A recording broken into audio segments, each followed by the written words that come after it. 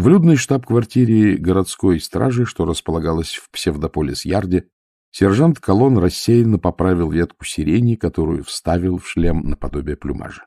— Очень странно все поворачивается, Шноби, — сказал он, вяло листая утренние бумаги.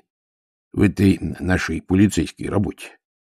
И со мной так же было, когда у меня завелись дети. Становишься как-то туже. — Это в каком смысле туже? Спросил капрал Шнопс, бывший, пожалуй, наилучшим наглядным свидетельством того, сколь тонкая грань эволюции отделяет человечество от животного мира. — Ну, — протянул колонн, разваливаясь на стуле. — Это как бы, ну, в нашем с тобой возрасте. Посмотрев на Шноби, он заколебался.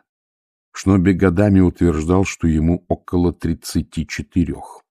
В семействе Шнопсов все плохо ладили с арифметикой. — То есть, когда мужчина достигает определенного возраста, предпринял он еще одну попытку, он уже знает, что мир несовершенен и всегда таким будет. Он привыкает быть чуток...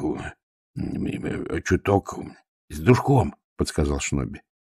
За ухом вместо обычного чинарика у него тоже торчала поникшая веточка сирени. — Именно, — подтвердил Колон. Типа нельзя объять необъятное, совершенства не бывает, просто делай, что можешь, верно? Но когда впереди маячит ребенок, ну, у мужчины внезапно меняется точка зрения. Он думает, и в этом бардаке придется растить моему дитю? Пора тут все прибрать, пора создать лучший мир. Мужик становится чуток рьяным, чересчур бодрым, даже борзым, и когда он услышит о силоруке, здесь будет всем мало мест. — Утро доброе, мистер Ваймс. — Обо мне судачили? — спросил Ваймс, проходя мимо притихших подчиненных.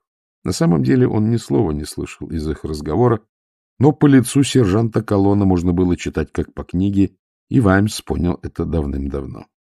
— Просто интересовались, радостные события уже — начал колонн, наблюдая, как Ваймс перепрыгивает через две ступеньки, взбираясь по лестнице. — Еще нет, — коротко ответил Ваймс. Он толкнул дверь в свой кабинет. — Привет, Марков. Капитан Марков вскочил и отдал честь. — Доброе утро, сэр.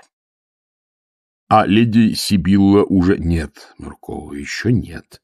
— Что-нибудь произошло за ночь? Марков покосился на веточку сирени на груди Ваймса, а потом снова посмотрел в лицо начальника. — Ничего хорошего, сэр. Убит еще один стражник. Ваймс замер.